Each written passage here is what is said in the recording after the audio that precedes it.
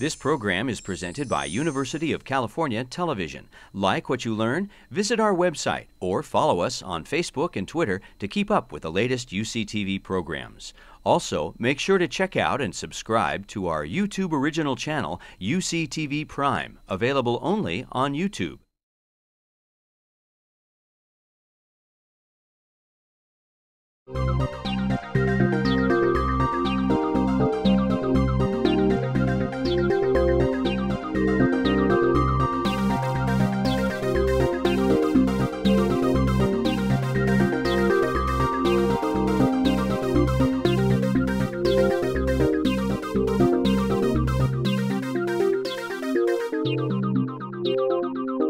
Welcome to a conversation with history. I'm Harry Kreisler of the Institute of International Studies.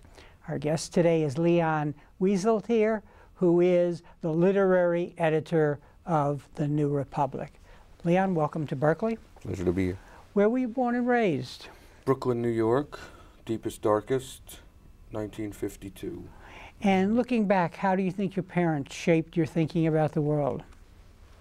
Oh, in many ways, some of which I'm not prepared to talk about publicly. uh, they, um, well, they were the central fact about my parents, the central public fact about them, not the central private fact, though it was also a central private fact, is that they came to New York in 1947 as what we now refer to as survivors of the Holocaust. So I was raised in a in a small pocket of Polish Jewish survivors uh, in South Brooklyn, and that ramified in all sorts of ways. I have to say, it didn't. I don't feel at all distorted by it um, or glamorized by it, and I've written about it very rarely, uh, very rarely, because um, well, for many reasons. But it colored certain things. Yeah. And and it must, as a young person, made you very aware of history and the costs uh, of history. Yeah. Acutely, phenomenally, precociously aware that everything happened on this larger canvas. I mean, the one of the central events of the modern world ran right through my living room when I was a boy. So there was always this feeling that things were being played out, uh, both small but large, also. And and did this lead to a discussion uh, of public issues and and yeah, I'd say it did. I'd say it did. Yeah, my parents were, um, you know, the newspapers were on the table every day. Uh, I my first political memory was on my way home. I must have been four. Uh, on my way home from the yeshiva of Eastern Parkway, and had to pause while President Eisenhower drove by to throw out the first ball at Ebbets Field, and then a few years later, I went to see John Kennedy campaign outside a once famous restaurant at a place called Kings Highway in mm. Brooklyn. Um, yeah, there was, and of course, we lived mentally and emotionally and historically, not just in the United States, but in Israel as well. So there was always this consciousness of the Europe, the immediate European past, and then the American present and the Israeli Middle Eastern present. There was a so yes, our kitchen was um, the kitchen was rather a global place.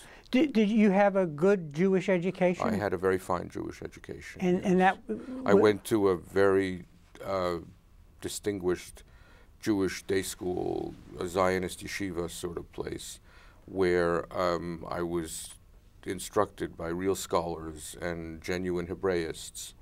Uh, I had a very, very fine Jewish education. Uh, and then your undergraduate work was Columbia, Columbia College. And and there you you really were exposed to an array. Oh, of, I had the richest education in the history of Columbia. I think. I mean, I was uh, I was obnoxiously unappeasable about it too. But I I studied philosophy and I studied art history, and I studied English. Um, and but I had you know I was born. If I'd been born five years later, I would have missed many of my teachers. I was very fortunate. Uh, Lionel Trilling and Meyer Schapiro kind of took me in. Uh, Paul Kristeller taught me the history of philosophy. I mean, there were younger, remarkable instructors too, but but I had I, I was able to sit at the feet of some great men, and then continue doing that later in my education. I was very fortunate. And and this was a, a time when uh, Columbia really introduced the Western civilization courses? No, no, it was they were already they were already they going. were They were going. Yes, CC, Contemporary Civilization, and what we called humanities, what they now call Lit Hum. They were still there, and they were already there, and they provided the foundation of most of what I know. I have to say, Mm-hmm. uh, they were extraordinary. If I could take them again, I would. And then you went on to Oxford. Then I went to Oxford to Balliol College, where I studied philosophy, but didn't complete a degree there because the philosophy that was being taught at Oxford in those years was in transports of logic and philosophy of language, philosophy of mathematics. I have neither the aptitude for that nor the interest in it, um, but was had the great good fortune to be taken in by Isaiah Berlin, who um, became uh, towards whom I had filial feelings, and we became very close for many decades, and he had an enormous impact upon my mind. And, and then back to Harvard. Then I went to Harvard to do a PhD in Jewish history and religion. I'd always intended to do advanced work in the history of Judaism. Uh, and there were some very fine younger scholars, younger, I mean, in their 40s and 50s at, uh, at Harvard. And I was a graduate student there for three years. And then at the end of my third year, was elected to something called the Society of Fellows at Harvard, which freed me, or ostensibly was was designed to free me from my PhD work, though I continued some of that, and uh, and then wrote. I when I was at Oxford, I was poor as a church mouse and began writing for places like the New York Review of Books and the Times Literary Supplement, and and then when I came back to to Harvard, to the States, to Harvard, I continued doing this. So I'd always had one foot in scholarship and one foot in journalism, which I've kind of reproduced only on the other side now and um, and then wrote a little, got involved in the nuclear debate, wrote a little book about nuclear weapons that found a great many readers, and a lot, and never completed the scholarly book I was going to write, that I planned to write about the interpretation of catastrophe in France, in the French and German Jewish communities in the aftermath of the Crusades, but some of that material and certainly some of the thoughts about that material eventually made its way into Kaddish. into book I And we'll talk about that in a minute, but I want to, uh, uh, in, in looking at your very rich uh, education, uh, I gather two individuals stand out, Trilling and, and Berlin, or maybe more. But, more. but, I mean, but- I was, again, I was very lucky. I mean, Trilling had enormous impact on me. Berlin did. Uh, Meyer Schapiro, the art historian, did. Uh, absolutely extraordinary individual.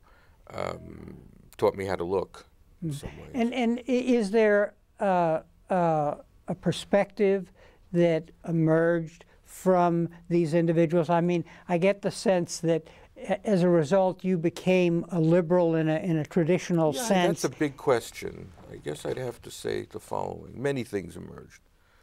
At one level, what emerged was a lifelong devotion to the humanities and a great resistance to scientism, either in its social scientific or natural scientific form, and a great skepticism about scientific answers to non scientific questions. Um, I also came to believe, as a consequence of not so much anything that was directly imparted to me, but as a consequence of the weather around these people, that um, I became a kind of pluralist about human life. People live in many realms, and one must be careful not to import categories from one realm into a realm where they don't belong, because that's how misunderstandings begin. They left me with a very powerful sense of the difference between politics and culture, and of the dangers of synchronizing politics with culture, or worse, culture with politics. Um, they did leave me a liberal, but a certain kind of liberal. They were all um, very distinguished anti-Stalinist liberals. Um, they were people who, I mean, Diana Trilling had an important impact on me in this particular aspect because, by example, and through many hours of conversation, when I was uh, young and not very well read and rather heady uh, student at Columbia, she actually showed me what it was to be anti-Stalin and anti-McCarthy at the same time. And I've always taken that as a model because there's never just one threat and there's never just one enemy and there's never just one danger. And you have to operate on many fronts at different levels at the same time. And so they were liberals, but of a very muscular sort. They were not uh, radicals, they were not progressives. I call myself a liberal, I do not call myself a progressive. And my progressive friends certainly don't call me a progressive. Um, yeah, so they, they, they influenced me in many ways. And, and a, an important dimension of the, the latter point is the what, what you wound up rejecting and they rejected was that there was one totalistic view of the world. Yeah, yeah. And, and that's what you mean by, oh, I can be against McCarthy, right. uh, but not Stalin. Everything is not, the idea that everything is one thing in the modern period basically derives from Hegel. Mm-hmm. That that one that that a single spirit animates all the manifestations mm-hmm. of human culture, all of all of human expression. This it, I was taught, and as I began to th- read and think, became clear to me was a was a, a colossal and very consequential error. Uh, but having said that, they did also leave me with a deep belief in reason not a shallow kind of rationalism that believes that the world is itself rational, but a much more sober sort of rationalism according to which it is precisely because the world is not a rational place that reason is not only possible but necessary.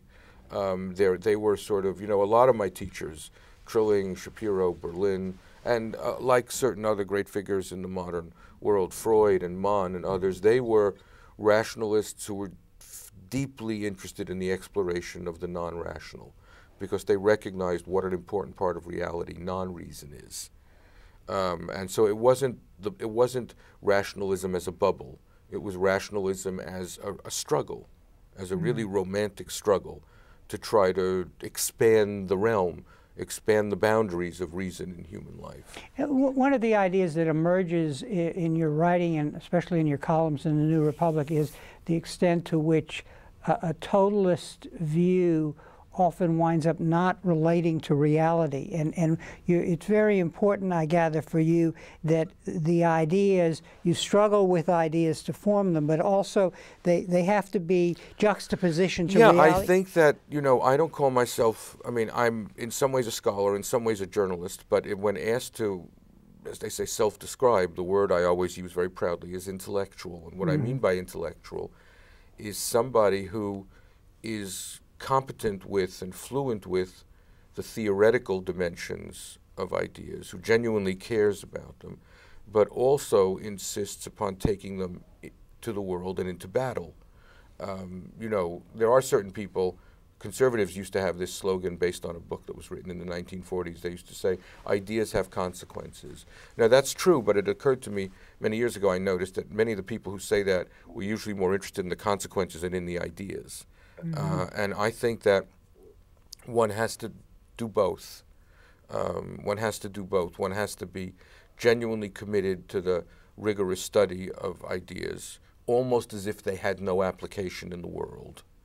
And then one has to take them to the world.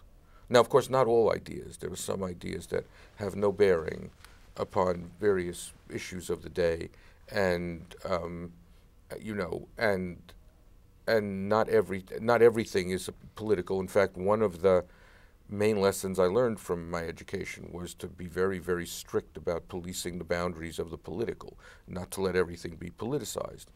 Uh, and you know, a poem is a poem. A poem is not a political program. And as an editor, I'm very careful when pieces come in to be sure that I edit various kinds of pieces in ways that are appropriate to them. Um, mm. A poem does not need to have an argument a poem does not need to be even completely clear. Uh, but if you're trying to persuade people to vote for someone or to support a treaty or to support a war or not to support a war, you damn well better be clear and have arguments and take the arguments to the other side. Mm-hmm. As an intellectual, I, I, get the sense you talk often about patience, the, the patience of and the hard work that, that goes with, is, with, patience is well you know it's certainly one of the the intellectual's most difficult virtues. But patience is a difficult virtue every, everywhere almost. But yes i mean you know the the the impatient liberal becomes a radical. I mean radical is, was a kind of liberal impatience. Mm-hmm. um, and if people who become impatient with reform and for perfectly understandable reasons uh, begin to fantasize or to plan revolution. And the question of patience has to do with the difference between reform and revolution. Um, and it's a tricky question. It, it, it, does not have an easy answer. There are certain questions of first principle about which a genuine revolutionary attitude would seem perfectly justified. Um, I always, the great debate I've had in my head with myself for decades, the test case for me is 19th century America is what sort of abolitionist would I have been? Would I have been a radical abolitionist or a moderate abolitionist? And the radical abolitionists were calling for war. And would I have called for war? I'm not sure. On the other hand, war did come mm-hmm. as a consequence, in part, of that very issue. Mm-hmm. Um, you know, would I have been a moderate abolitionist because actually I did not, I would not have wanted to sacrifice the entirety of the American Union to the question, to the issue of slavery? I'd like to think that my loyalty to the Union would have been that great. But the evil of slavery was also so spectacular. And this is something I go round and round. Mm-hmm. There are certain questions, it, the answers are not that obvious. Mm-hmm. They're not that obvious. So, but so I try to err on, in, the in the direction of patience. So, so is it, would it, for, what, what, what is your view of Lincoln then? Is, is, was he an ideal political leader for mediating the, these problems? Yeah, Lincoln was a very cunning political figure who, um, who didn't get into it to end slavery, but intended to end slavery. Mm -hmm. um, and navigated this. Yes, it this, was hard. I yeah, mean, yeah. I mean, you know, it was. Um, I mean, what would one's view of John Brown have been? He was mm -hmm. a mm-hmm. terrorist, mm -hmm. out and out, killed innocent people in Kansas, killed them because he thought slavery was mm-hmm. evil. Mm-hmm. Um, you know, good end, bad means type situation. But those are, uh, you know, and I'd like to think that I would have denounced John Brown. On the other hand, I'd like to think I would not have denounced John Brown in the way that some people denounce John, John Brown out of a certain degree of complacency or willingness to accept this this this evil situation. Mm-hmm. Um, you know, when you say the E word, when you when you talk about evil, um, it triggers a certain urgency in the discussion, obviously. And it's hard to be patient with evil, and probably one should not be patient mm. with evil. But one has to be clear about what evil is, and one has to think very carefully about how one intends to combat it. Uh, but the minute you find yourself in the fighting what you what you regard as evil, patience becomes very difficult and not necessarily a virtue. Mm -hmm. So these are not easy matters. I don't have a I don't have a formula for them. We'll pick up this uh, thought in a minute, but I, but I want to go back to your formative experience mm -hmm. because one part of your formative experience comes later in your life with the writing of, of the book Kaddish, mm -hmm. which uh, uh, uh Tell us about what your goal was there oh. in writing that book. Your father has passed away, and, and you assume the responsibility of saying Kaddish for him for a year. The immediate goal was as uh, look, I I was raised as an Orthodox Jew, but I did not live as an Orthodox Jew for many, many years. But even when I was not living in that way, I knew that when the time would come to uh, do my duty, uh, as a mourner, I would do it because it's what my father expected of me his whole life. And it was not a question. I mean, it was so I began to do it. And when I began to do it, to do it means to appear in synagogues three times a day to utter this prayer that says nothing about mourning or death or pain. It's just uh, it just is a series of praises of God, um, what they call a doxology, and um, I began to do it, and I began to understand that I didn't know quite what I was doing. And I decided I wanted to find out what I was doing, even though I intended to do it anyway. Um, you know, and this is true, by the way. This was not as, this is a melodramatic example, but in fact, it's usually the case in life that we are already doing the actions for which we are seeking reasons. I mean, there is no time timeout mm-hmm. that allows one to figure out the reasons for what one intends to do and plan how one intends to live and then proceed and act on this very well reasoned plan. Mm. That's not what life is like. You find yourself performing certain practices, living according to certain customs, religious, secular, I mean, all kinds, and you begin to seek reasons for them. And if you don't find reasons, some of them you reject and you stop practicing, though some of them you have a, an attachment to for non-rational reasons. You have a love for them. You believe they have a, a positive practical utility. And so your failure to find a reason for them doesn't yet dissuade you from practicing them. And you keep looking for the reasons, and others you find reasons for, and it all works out in that way. Um, I mean, the whole relationship of belief to action works out neatly that way.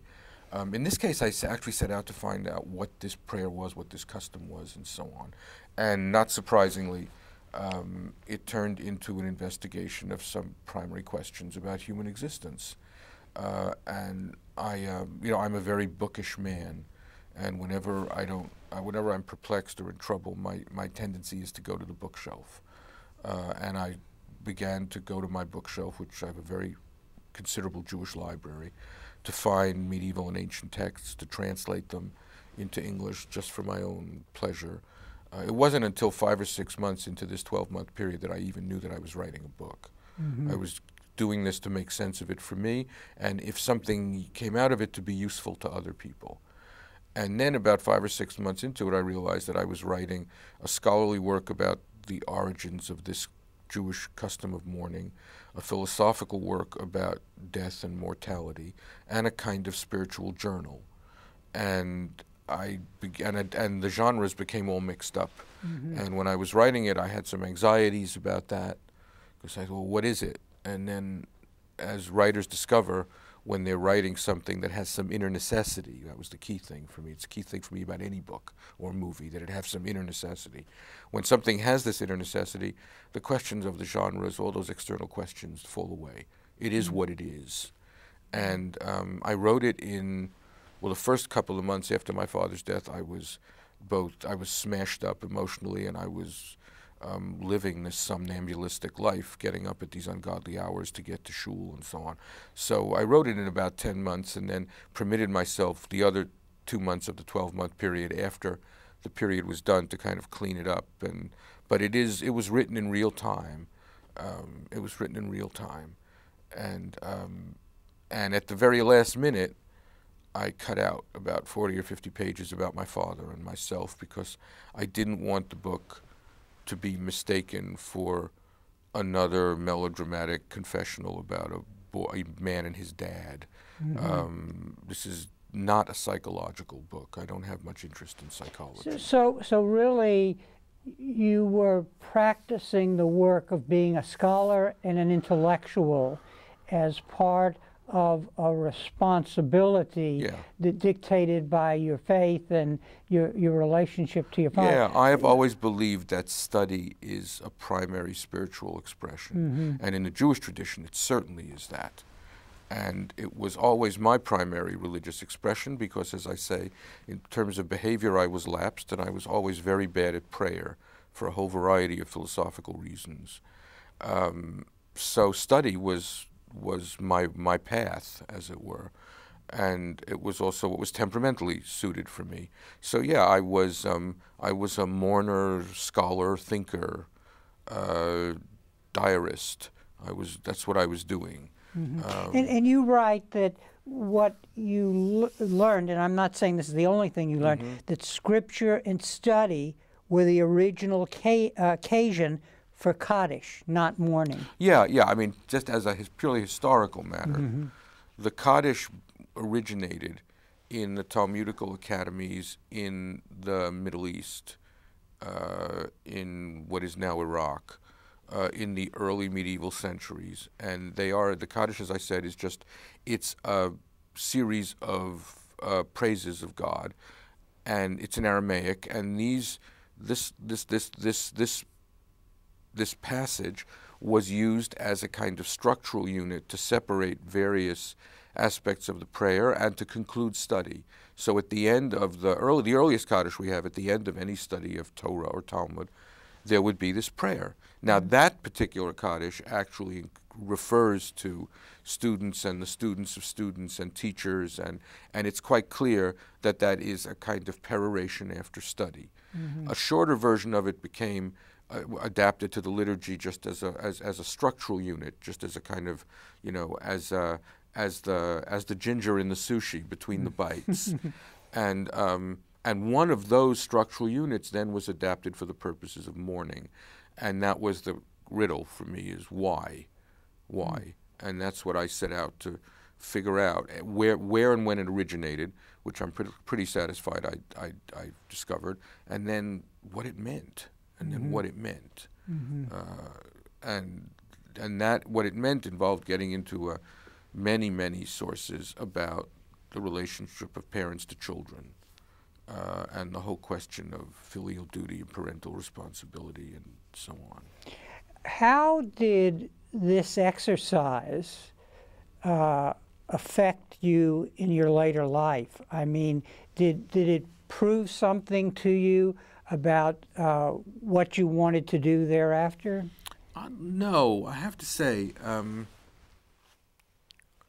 you know, the when the book appeared, I mean, it was it was its reception was deeply satisfying and somewhat surprising. and it was nominated for. A, a it was nominated for all kinds of things. It won things. That stuff doesn't interest me, but um, but uh, but it but certain things were said. Uh, there was a certain traditional Jewish response to it that basically portrayed me as the prodigal son who'd come back.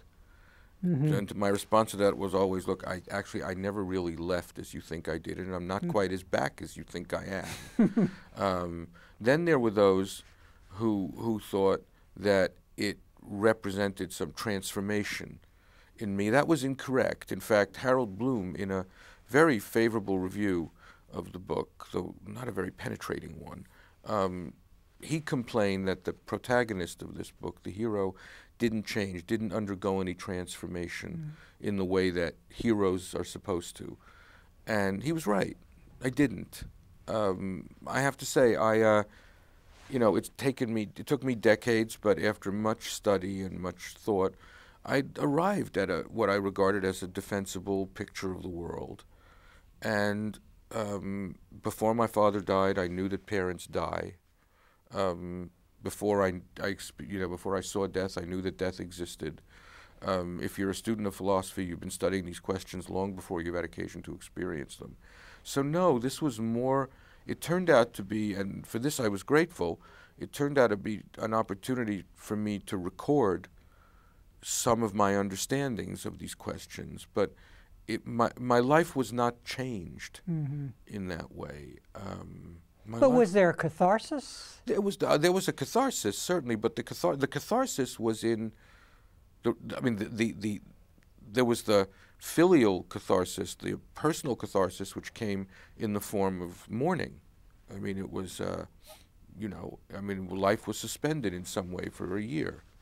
Uh, at first, completely suspended. Then, as the year wears on, increasingly less and less suspended. But still, the mourner is in Jewish law kind of pariah is, does not participate completely in the in society, in the community. And it was a catharsis in that I had managed to produce what I regarded as as a, a, a satisfactory representation of my views of certain things and to write a certain kind of book. I mean, I have to say, you know, I earn my living as a certain kind of journalist. I'm not intellectually, I'm not primarily a journalist. I've never reported on anything. I don't regard the telephone as an instrument of research. Um, never have. Uh, I'm not that. So I'm not. Um, I'm not that sort of journalist. But you are a diarist. That's what you're. Well, yeah, but my diarist. But my diarist is. Uh, it's a kind of feuilleton. It's a. It's a kind of old-fashioned, late 19, you know, 19th century, early 20th century European page, in which one writes about anything one wants mm-hmm. to write mm-hmm. about, but in which one writes about them with some learning and a certain amount of philosophical resonance. Mm-hmm. Um, you know, I read the polls about the election, but I'm not going to write about them. Mm-hmm. I mean, everybody else is. You, have written about uh, Jewish illiteracy as a, as a cultural problem for the, the, the Jews in the United States. Uh, you were not illiterate. You were clearly steeped I, in, and, and that made it quite a difference. As a Jew, I live mainly in Hebrew. Mm-hmm. As, as a non Jew, which I am too, I mean, there's the Goy in me. Um, I live in English. I live doubly. I've always believed in living doubly or triply or quadruply. Again, I told you, I, you know, we live in many realms. Uh, people who believe that that hum- a human identity must be must be seamlessly sewn together so that it all adds up into one brilliant and beautiful mm. package. And I, I think that's an illusion. I think it's a great simplification of life. Uh, so, yes, I live doubly. And as a Jew, I do most of my living in Hebrew uh, with great pleasure because that's the natural that's the natural weather for Judaism. I mean, a language is your air, and Judaism well, Judaism had a variety of languages, but its central language is Hebrew.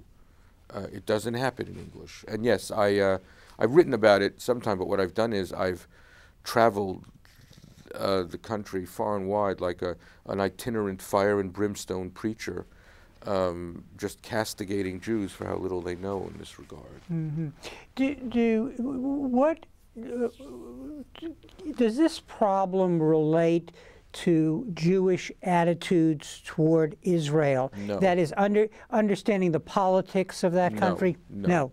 No. Early on in Israel's history, in the 50s and 60s, there was a certain American Jewish enthusiasm for Israel, a certain American Jewish Zionism that that that that that that that impelled people to go learn Hebrew, and there were these institutions called ulpanim that were basically Hebrew classes taught by Israelis, and there was that mm. period, but that mm. period passed.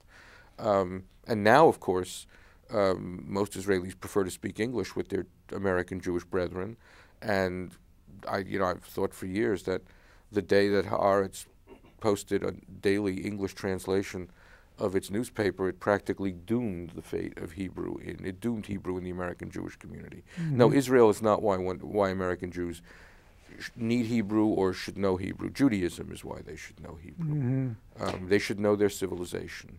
Now, now you're uh, you've written things about.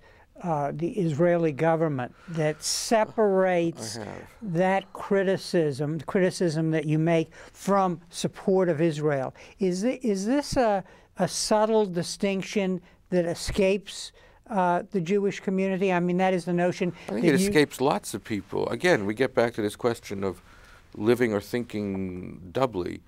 I think that Israel has mortal enemies and needs to defend itself ferociously. Mm-hmm. And I think that unless the Palestinians get a state, the Jewish state will not survive, and that Israel has been um, unconscionably delinquent in pursuing a solution with the Palestinians. Not just this government, some former governments too, but especially this government. And I've insisted that one has to speak both these thoughts in the same breath and think them at the same time, uh, and that it is not the case that if if there should be a, that because there should be a two-state solution, we need not worry about the Iranian nuclear capability. And it is not the case that because the Iranians may mm. want to acquire a nuclear weapon, that the Israelis don't have to worry to, find a solution with the Palestinians. Uh, mm. People have got to learn to do a bunch mm-hmm. of things mm-hmm. at the same time. Now, each camp ideologically in the Jewish world and the Israeli political world prefers, they have their preferred threat. Um, and some of that, I say that, that's a little more cynical than I mean it to sound. They may actually sincerely have arrived at the conclusion that there is one overwhelming threat. I don't see one overwhelming threat. I see a variety of very serious threats, and they all have to be addressed. And I see nothing incompatible with a robust response to the Iranian attempt to acquire a nuclear weapon, and we can discuss what a robust response means if you want, and a robust attempt to find a way to establish the state of Palestine alongside the state of Israel. I'm an mm. old peace now guy. Um, I've always thought that the only solution to this problem are two states. It was always the only solution. It used to be called partition. Um, it's the same idea. Both peoples have the rights to the land. Neither people can have the whole land. Both neither people is leaving the land. Both peoples have to live in peace. The only the only solution is to divide the land. Uh, I mean, that's since the Peel Commission proposed it in 1936. That seems to have been the only morally and practically sound mm. solution. And somehow we cannot get there. So, what does a robust response to the Iranian challenge look I like? am very. Um, I have dark thoughts about this subject, not dark thoughts of the, of the sort you might think. Um, I'm not persuaded that there is any military solution to this problem. Mm-hmm. I do not believe that the Israelis can have can provide a military solution to it. Uh, the Israelis, I think, understand that that they can't. I don't think they any longer believe that, which explains some of Netanyahu's otherwise inexplicable behavior in the last six months. Um, and the question is, first, does the United States have the capability to provide a military solution to this problem? And B, would the United States be willing, or should the United States be willing to do this? And one can have many answers to this. Um, the only solution to the Iranian nuclear question is democratic change in Iran. Mm-hmm. Uh, I have no doubt about that. Problem is that the democracy clock is ticking much more slowly than the nuclear clock. Um, if there is a military strike against Iran, I imagine they can cripple the facilities for two or three years. They can set it back. I then imagine that the next morning the Iranians will start to dig more deeply into a different mountain. Mm-hmm. Um, there will be no damage assessment. We won't know what we've accomplished. Um, I don't worry about uh, the response in the region in the sense that I think the Iranians would unleash Hezbollah against Israel, which would be a, there would be another war there, and I'm not taking that lightly, though the Israeli army is kind of itching to get there to destroy that arsenal. But I believe that any attempt by anybody to set back or destroy the Iranian nuclear program would be welcomed joyously by the Saudis and the Gulf states and Egypt and so on. Um, but so I don't really have a solution to this uh, in the sense that I, am increasingly not of the belief that there is a military solution. Mm-hmm. Uh, you, you've written about the Arab Spring yeah. as uh, uh, someone who, in, in, looking at his principles, leans on the side of humanitarian Absolutely. intervention. Yeah, Absolutely. and and I want to explore that because it it it may be a place to test this idea of having principles but relating them yeah. to reality. So yeah. I would be interested in in your intellectual struggle to to come to the conclusion you come. Well, You've been very critical of the Obama administration on Syria, but but supportive of their action in Libya. Absolutely. I think that the Arab Spring is the most strategically, historically important event since 1988, 88, 89 in Europe. Uh, I think that the possibility of political progress and social progress in the Arab world, its ramifications are so far reaching um, that it must be supported.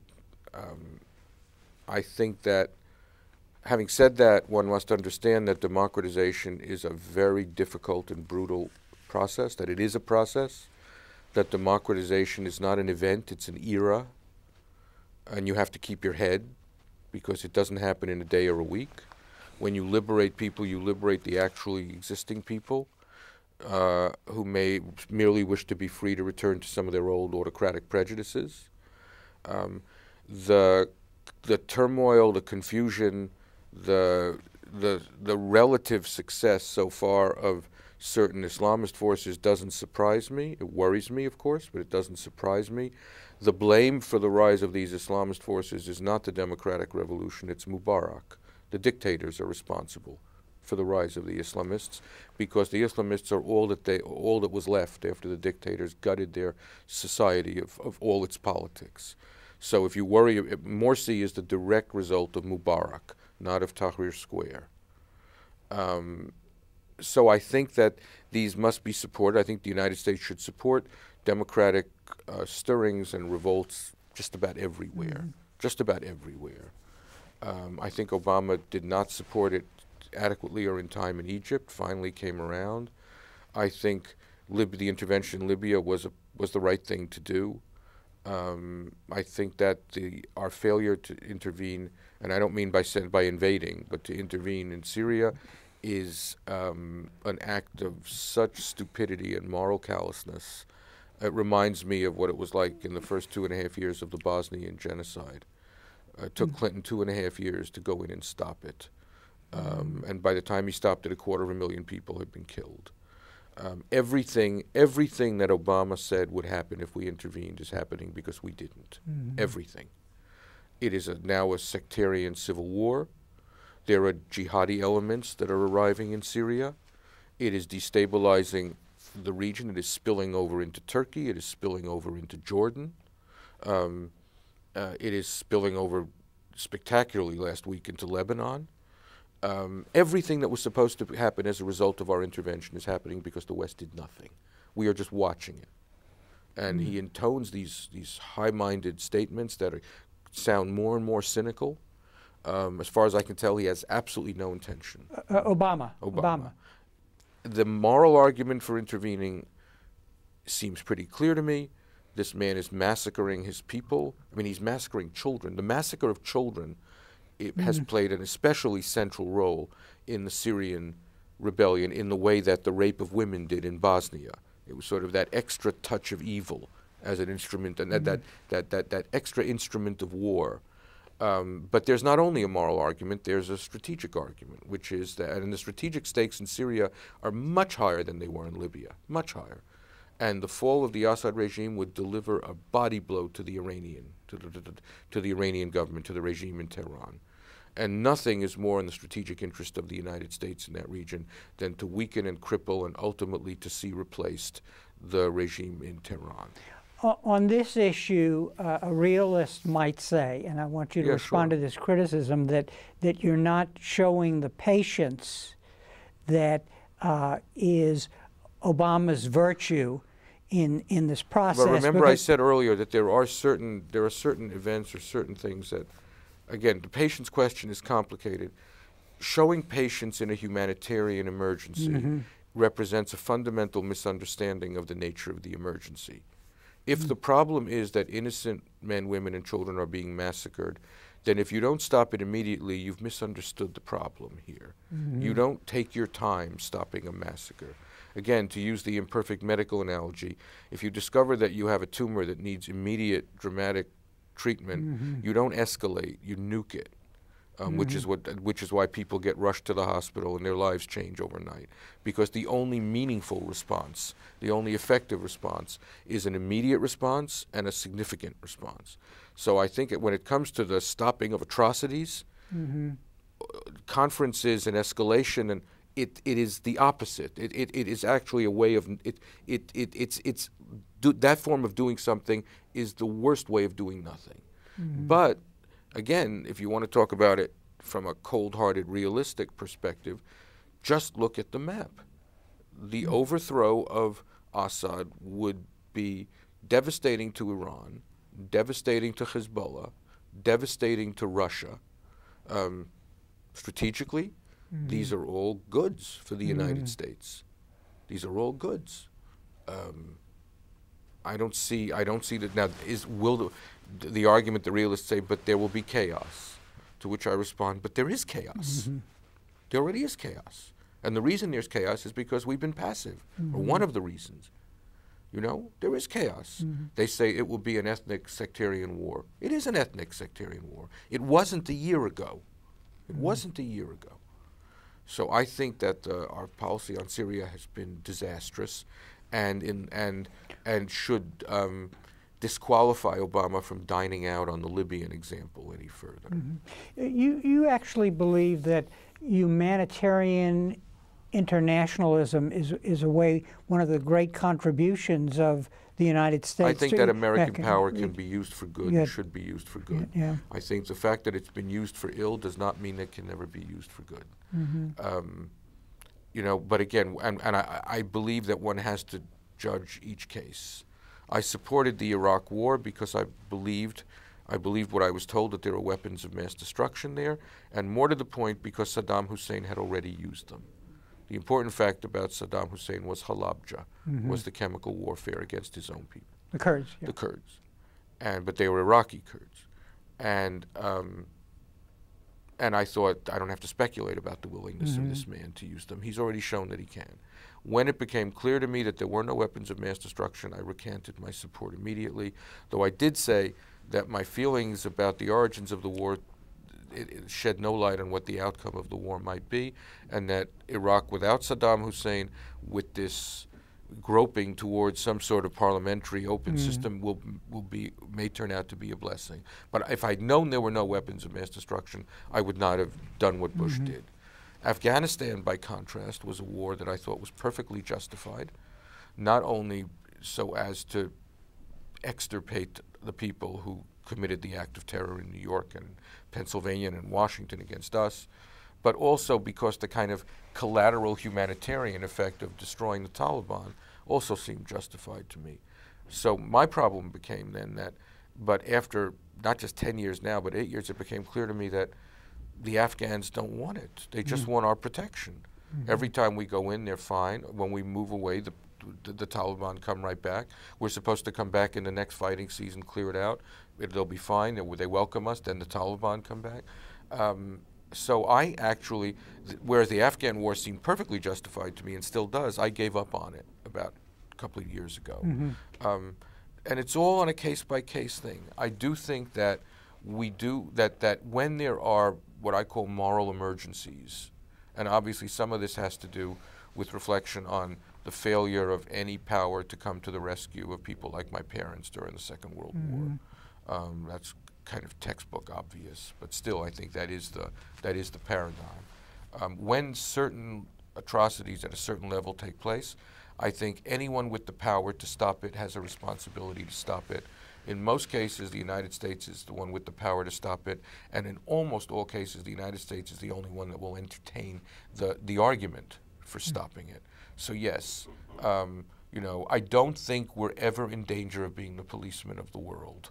I really don't. Because of the politics. Yeah, yeah. Mm. I mean, people talk about, you know, in the last decade, people have talked about the United States because of Iraq and Afghanistan as an empire. Mm. The mm-hmm. British were in India for 200 years. Mm-hmm. Right, we can't be in a place for 200 months before mm-hmm. it starts. Mm-hmm. No, we're not. That's. I don't believe that, that that that that wild, excessive intervention is the danger. I mm-hmm. think that American diffidence about the world. You can call it isolationism. You can call it what you want is the danger. I think that the economic analysis of strategic realities is the danger. It's not all about money even if China owns whatever percentage of our treasury bills that they own, when people are in trouble, when Syrians are in trouble, or Iranians are in trouble, or Haitians are in trouble mm-hmm. after an earthquake, or Japanese are in trouble after the uh, nuclear plant melts down, they don't go to China or Brazil. They mm-hmm. come to us, mm-hmm. and quite rightly, mm-hmm. because they know that we're the people who not only have the capacity, the capability to help them, but who will entertain the thought of helping them. Mm-hmm. We will actually consider doing this. To, to change subjects, because you wear many hats, and uh, I'm trying to touch on all of them, uh, let's talk about the changes at the New Republic and being a literary editor. and, yeah. and what I have in mind here is the, the tradition that you represent mm-hmm. is really generally threatened by the commercialization of publishing, by the web, and so on. How do we navigate? These these transitions and and preserve the, the kinds of traditions that you're all about in in, terms of a liberal literary tradition? That's a complicated question. I think that the pressures on serious thought and serious writing in America were always very great. And people who held my job, which is a distinguished little perch in American life. I mean, I sit in Edmund Wilson's chair and Malcolm Cowley's chair and Alfred Kazin's chair, and um, people like that were always complaining about Yahooism and middlebrowism and mid-cult, and there were always these pressures.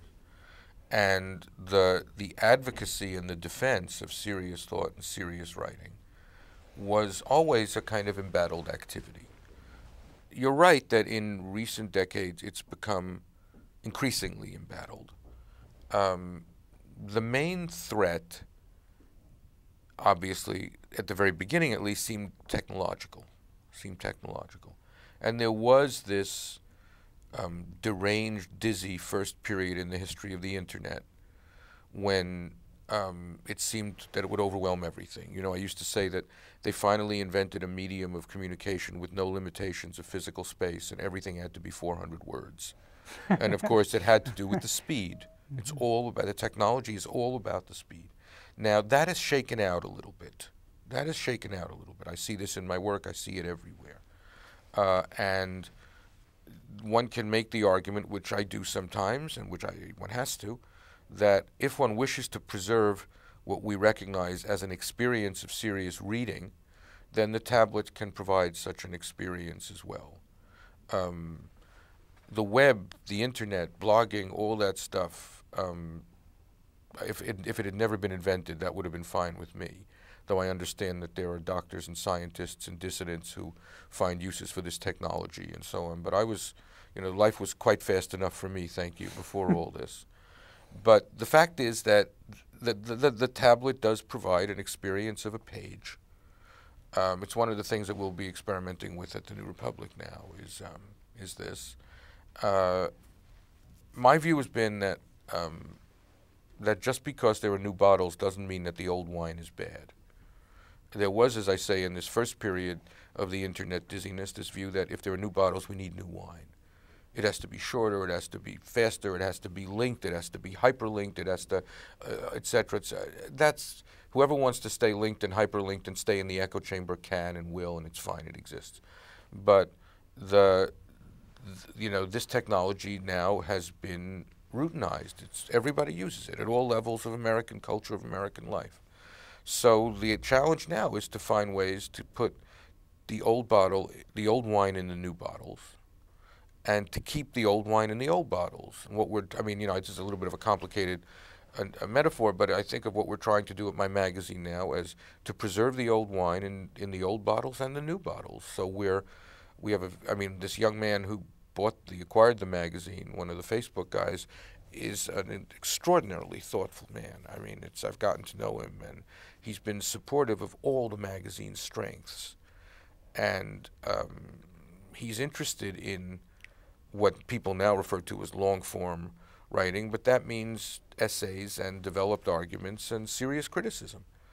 And so my responsibility, his responsibility, our responsibility is not to mistake a technological revolution for an intellectual revolution and to use the new technology to, to, to create and proliferate the old discourse, which is still necessary.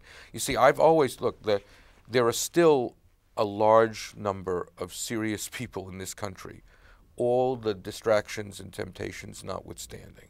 They're there. They're there. We could quadruple our circulation mm without having to create one new reader. We just have to find the natural readers who are there. Mm um, so, in that sense, I'm not pessimistic. In that sense, I'm not pessimistic.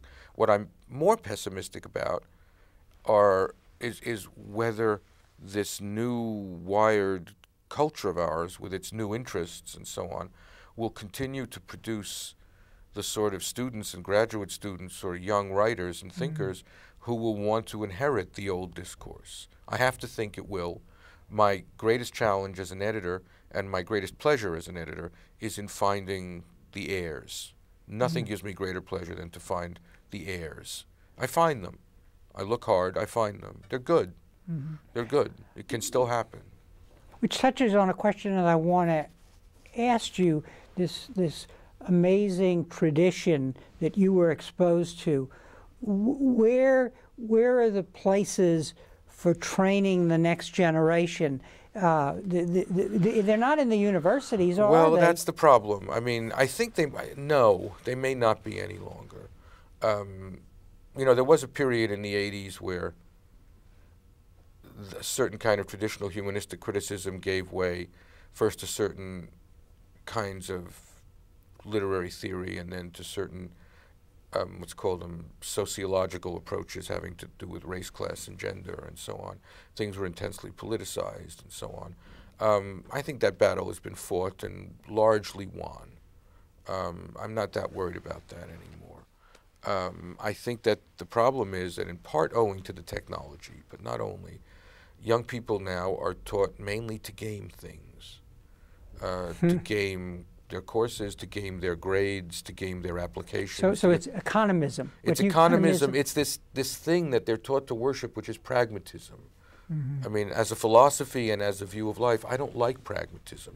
As my as my old friend and teacher Sidney Morgenbesser once said, the only problem with pragmatism is that it doesn't work. um, I don't. I, I, think I don't believe in it.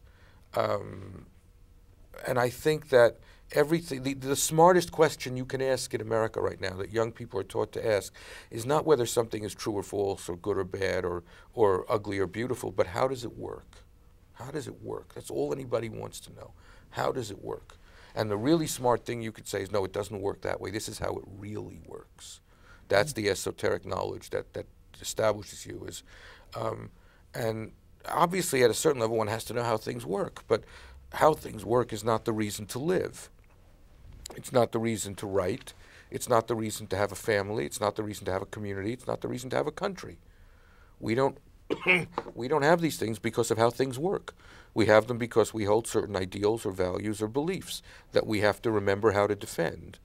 Um, so, yeah, I worry about these things. Mm -hmm. I mm-hmm. worry about these things. How, how, would you advise students to prepare for the future then in, in this kind?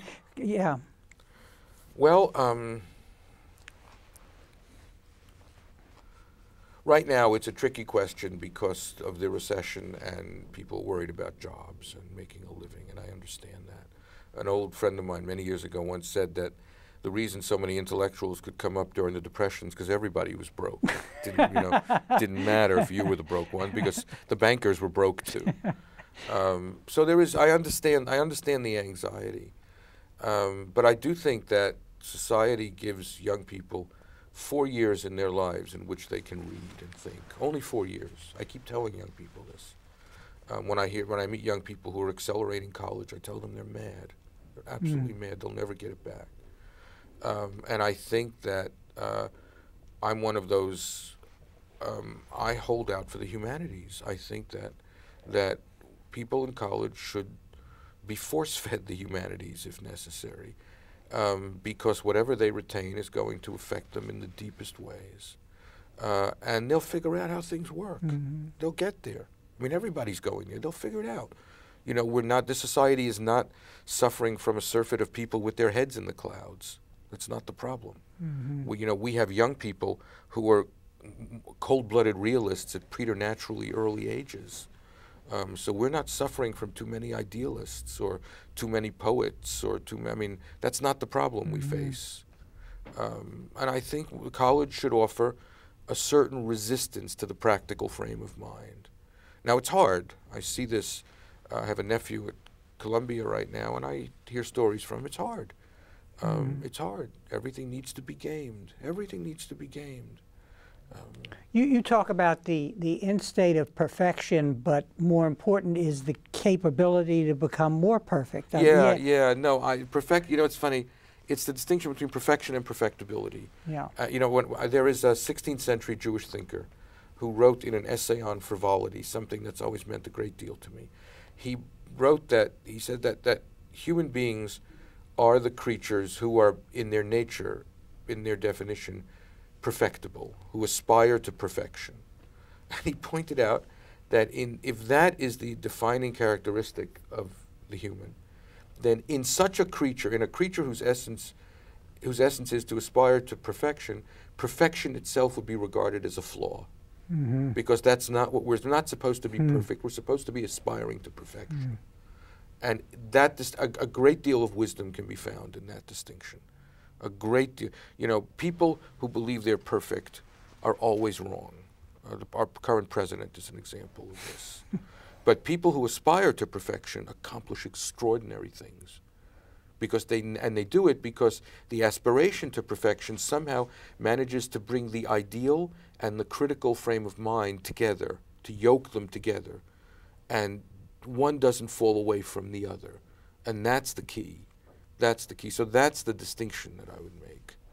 Well, on, on that uh, positive note, actually, Leon, I'd like to thank you very much for coming pleasure. on our program. Well, thank you, and pleasure. thank you very much for joining us for this conversation with history.